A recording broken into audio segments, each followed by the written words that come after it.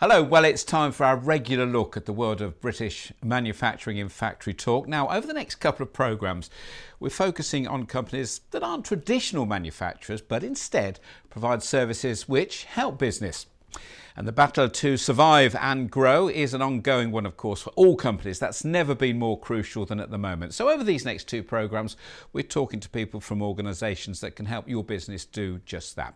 Now, Sage, of course, is a multinational company providing software and business solutions to other companies to help them manage their finances. It's been going for some 35 years and has 3 million customers worldwide, with about a million of those being in the UK. Rob Sinfield is Vice President of Product at Sage. He joins me now. Rob, it's good to talk to you. I think most people know of Sage. I gave a bit of an introduction there, but tell us more about what you actually are and what you provide. So, thank you for having me on the show today. So, Sage are, well, they're actually the UK's oldest software company, um, originally headquartered in Newcastle.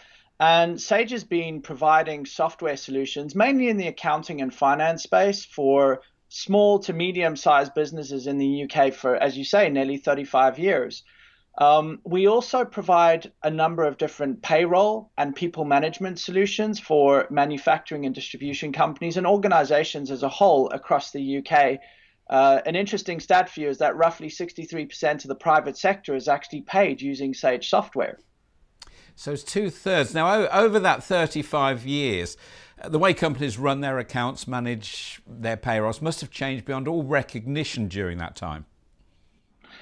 It has, and I think this is the one area that that people don't realize that there's a lot of complexity that that is kind of around the whole payroll space, around finance and accounting. We think of it traditionally as debits and credits, and debit and credits haven't changed for for for, for years and years and years. But what we're starting to see is the introduction of things like MTD, Making Tax Digital, not MTD, this program, but the Making Tax Digital um, initiative from the UK government and the HMRC has really uh, put a focus on the importance of technology. Organizations now need to submit their taxes electronically. Um, so you, this is where software companies like Sage can really start to provide solutions that enable companies to focus on what they do best, which is manufacturing, distributing, or or providing services. And we take care of the heavy lifting and, and manage the, the, the complex calculations and the submissions to the government. Does it matter what size a company is uh, for their ability to, to benefit from using software such as the, this stuff that you provide? I don't think it does. Um, we, as Sage, traditionally focus in on the smaller to medium sized organizations. So um, anything from sole traders all the way up to, to fairly sizable PLCs that may have a turnover of close to a billion pounds a year. We tend to stay away from those very, very large organizations at the top tier just because of the complexity that comes along with that. And we also tend to stick in our area of domain expertise, which is rarely those smaller to medium sized organizations. And that's because we feel we have the right level of capabilities and knowledge to support those organizations efficiently. Uh, it's interesting. So let's talk a little bit about those people that are self-employed, the, the, the small businesses. How does it? How does how do things work now with these businesses? Obviously, you, you mentioned MTD. Um, it, it, taxation is constantly changing. Do you help these sort of small business to, to keep on top of that? We do. So we have a number of different products in the market um, that cater for different ends of the spectrum in terms of is it a smaller organization? Is it a sole trader? Is it a, a, slightly larger organization? And with those, we deliver different levels of, of capabilities.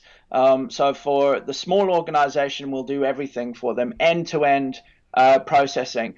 Now, we've taken a slightly different approach to this in that we're building a lot of uh, technology services or business services that sit around our applications and and complement the capabilities within those applications. So one of the things that we've done is we've built a, a, cloud service. So for those of you who, who aren't familiar with technology, a cloud service is really a, a service that's hosted by ourselves that allows us to connect to the HMRC and do the tax filing. So we build it once and we're able to support multiple customers with that uh, that capability. What that does is it brings economies of scale and it helps us to provide software at the, the at an optimal price point for the customers that we're targeting.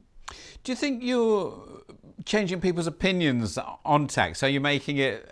I mean, something. It's it's a tax. Is it isn't literally, but it's a bit of a four-letter word, isn't it? Do you think you're making people less frightened of uh, of tax?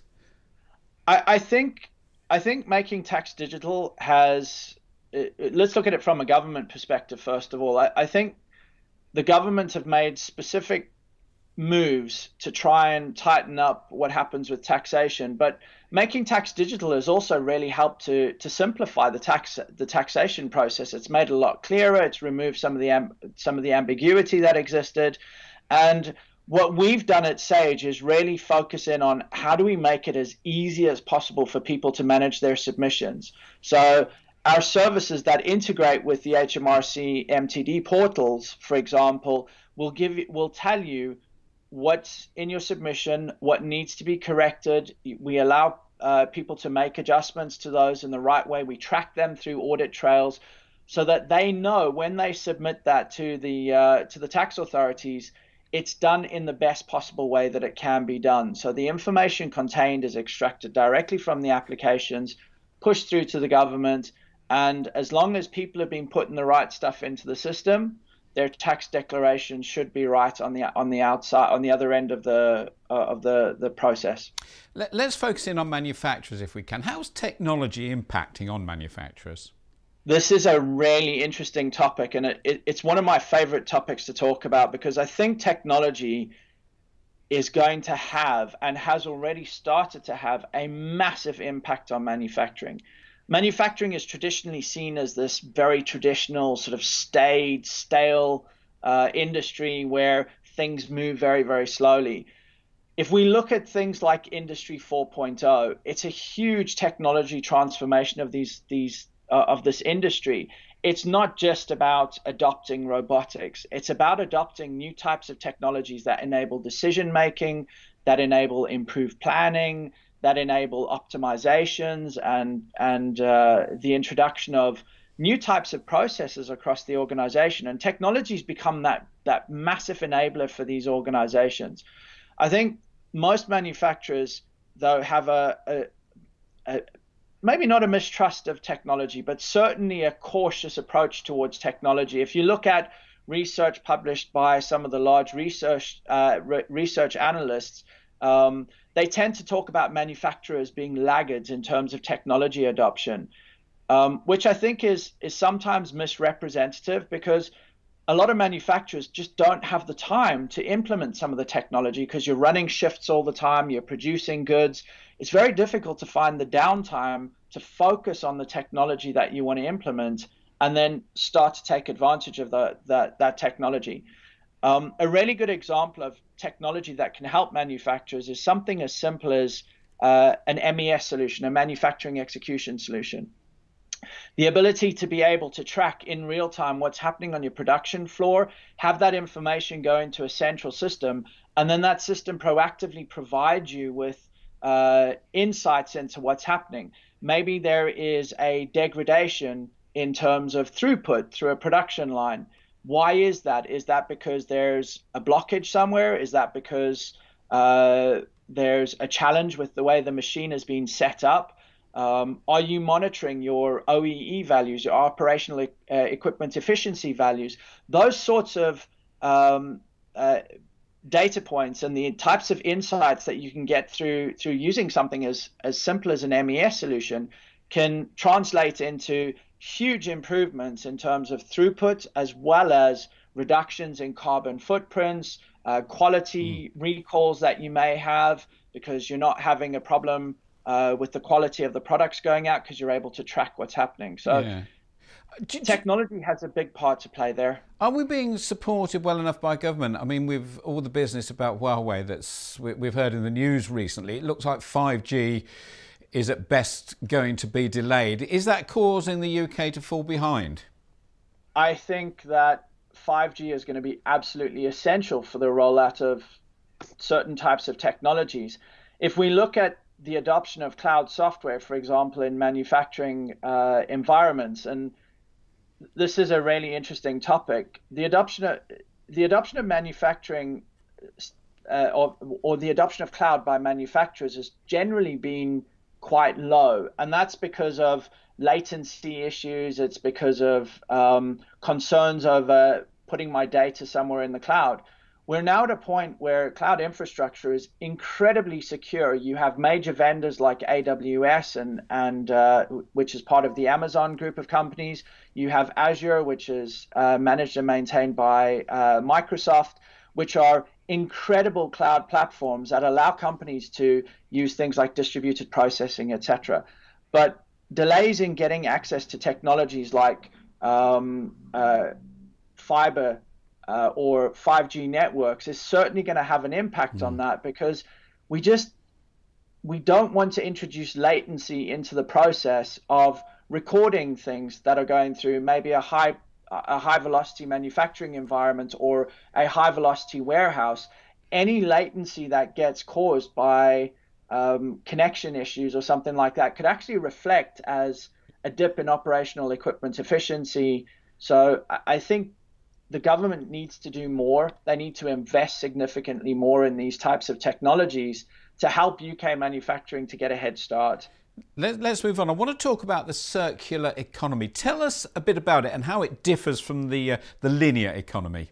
So this is a really interesting topic. A lot of people think that the circular economy is just it's a way of of just doing things in a very different way. It is, but it's also a philosophical discussion because the circular economy is about doing things through different types of processes and approaches to ultimately ensure that what we're doing uh, has the minimum level of impact on the environment. Now, that sounds simple when you talk about it that way, but the circular economy impacts multiple elements within an organization. If you look at things like product design, are we designing our products to be reusable or recyclable? So if you're manufacturing something like a plastic widget, can that widget be recycled if someone doesn't need to use it anymore? Or if you're building uh, large products or more complex products, are they componentized? Are they modularized so that you can replace one module with another so that you can extend the economic life cycle of the product? You look at things like your distribution network, supply chains. Are you sourcing locally, for example? That's a big part of the circular mm. economy. It doesn't have to be that we're bringing everything close together. Are we nearshoring or are we are we offshoring? Um, why are we making those decisions? So the circular economy impacts pretty much everything that an organization will do across the spectrum. Yeah. It's about making the types of decisions that will ultimately have the best possible impact on the organization as well as on the um, on the environment as a whole. Yeah. So it, it's a complex area of of discussion. Interesting stuff, Rob. Let's move on uh, to another topic. At MTD, we're really keen to talk about the importance of apprenticeships and, and training moving forward. Do you agree? Apprenticeships are absolutely essential. I, I think it's how the UK is going to uh, almost regenerate its manufacturing industry. Um, we've gone through a period where people have been talking about manufacturing in the UK through this lens of it's all doom and gloom, nothing, nothing really interesting is happening, and it's almost become a very unattractive career in the UK. Um, everybody wants to be a YouTuber or a, a, a social media expert, but there are a lot of um, there are a lot of UK companies that have successfully re-implemented apprenticeships that are starting to see the benefits of that. Um, I, I, what's really important for me is that we look at this through a different lens.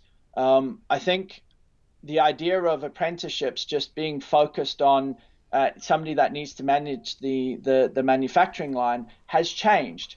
Um, we look at some of the, the, the, new types of skills that manufacturers are going to have to be looking at, things like data sciences, um, things like uh, technology to manage CNC machines and things like that. Those are highly specialized careers. People are going to university for that, but why not bring them into the organization, put them through an apprenticeship program, teach them how to effectively use the CNC machines? Because one of the arts of something like CNC is that there are potentially thousands upon millions of ways of directing a specific cut or making it so that you get that optimization.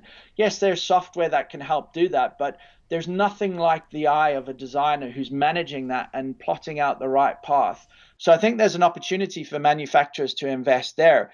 I think the other thing that UK manufacturing could do, which could be really interesting, is we're, we, we talk about this idea of the gig economy and, and people kind of being very transient in, in terms of the way that they work. One of the reasons why they're transient and why the gig economy is thriving at the moment is because people are shopping for skill sets. Why not bring some of those skill sets in home and actually uh, or in house and start to start to leverage that? I think it would be really interesting uh, to take a look at some of the uh, apprenticeship programs that have been run uh, throughout the throughout the globe at some of uh, at companies like Google, uh, like Google, for example, where yes, it's technology, but they bring in people of diverse backgrounds, diverse diverse thought. Um, we why not set up an if you're in a in an environment which requires a huge amount of precision and control and and focus why not looking in bringing in children or teenagers who are on the spectrum, so children with Asperger's or autism, who generally have the ability to be incredibly detail focused. Why not leverage them in those manufacturing operations and build a program that focuses in on those children? They have a unique skill set. They're hmm. able to sit and focus and, and pay attention to detail, unlike most of us that are not necessarily on the spectrum in the same way. So there's tons of opportunities. And I think hmm. this is where manufacturing could take a kind of take a leap forward and start to do things themselves rather than relying on government programs to be able to do that. Because let's be honest i think it's going to be difficult to get any program started at the moment with the uh, with the commitments that the government is making to just keeping people employed. Yeah, um, I was going to, Rob. We're running out of time. I, I, just want to finish with with quite a big question, but need a reasonably brief answer. As we emerge from lockdown, as we look forward, how do you see manufacturing and business emerging and looking at the longer term? How do you see it going? I think manufacturing in the UK has learned a significant lesson from COVID we need to be smarter about how we manage our supply chains. We need to look at where we're sourcing products, but we also need to scrub off this this idea that manufacturing in the UK is staid. It's a tired, dead industry. Look at the way that the UK companies have adjusted. They've modified. Take someone like McLaren, manufacturing engines one week to manufacturing PPE. That's anything but staid and and and stale as an industry there is tons of opportunities for UK manufacturers to innovate, whether that be small pockets of innovation, just automating processes, or it be adjacent innovation, taking something that works in finance and moving it into manufacturing, or it's truly truly innovative ideas that they can they've been able to see a gap in the market where they can potentially look at things. I think manufacturing in the UK will also need to look at new types of economic models rather than necessarily selling their products, they might want to rent or lease the products if it's industrial machinery or if it's more complex products. Mm. Creating an economy around servitization as well. UK manufacturers should be looking to not only sell their products but potentially offer services around them, aftermarket capabilities. That again is going to tie back into the whole idea of the circular economy. Brilliant. Rob, uh, some really challenging and interesting thoughts. Thank you very much. Rob Sinfield, Vice President of Product at Sage. It's been a pleasure. That's it for this week. Factory Talk. Next week, talking to Joe Routledge from Lumo. Look forward to seeing you then. Bye bye.